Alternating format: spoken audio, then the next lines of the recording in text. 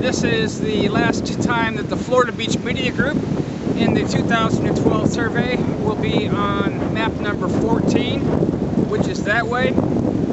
I'm standing on a line right now between map 14 and 15, which means that really I only have map 16, which is past 15 here. Down it's called uh, Fort DeSoto County Park. And after that I have map 11 to do, and then I'm going to finish on map 10, and I may go up and hit Honeymoon Island before I do either one of those last two. I'm not sure.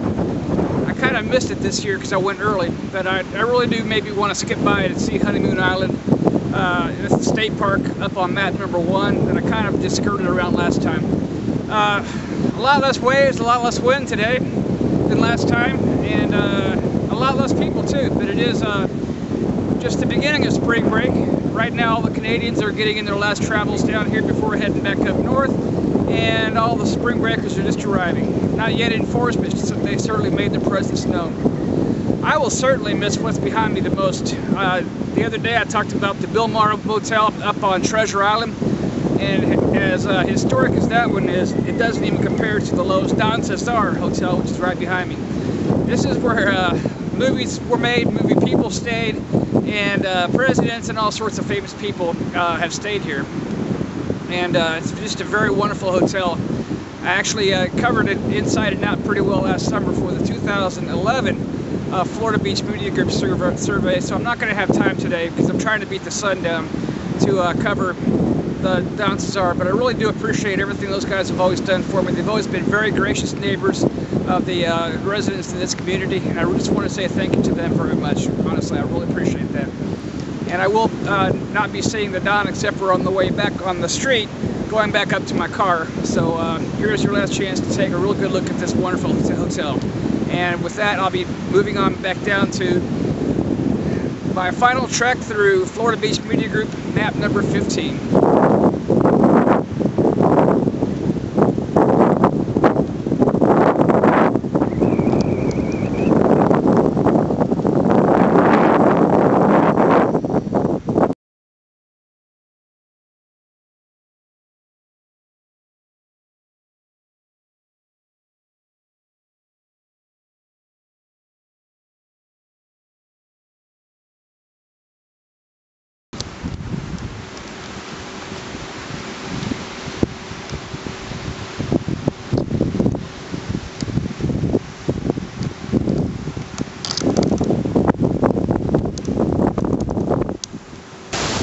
change is hard, but sometimes it's the only way to grow, and I really need uh, a little bit of that right now.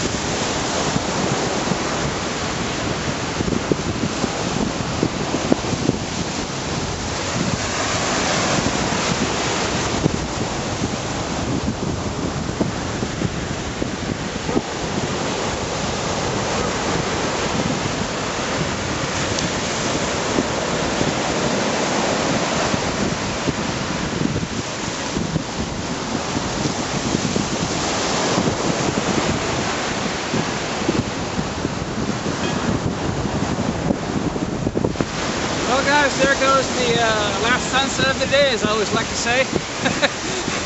it really only works that way if you're on the International Space Station or something.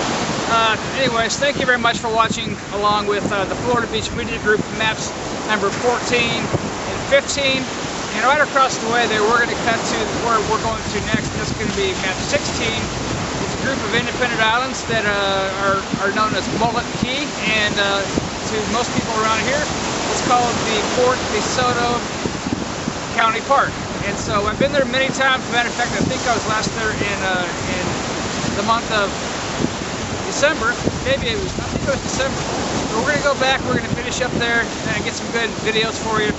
After that, we're going to cut back up, like I said before, to map number 11, which is otherwise known as Madeira Beach, and then uh, cut it north and finish up the Florida Beach Media Group 2012 tour with a wonderful hometown beach of mine called Redington Shores in Redington Beach.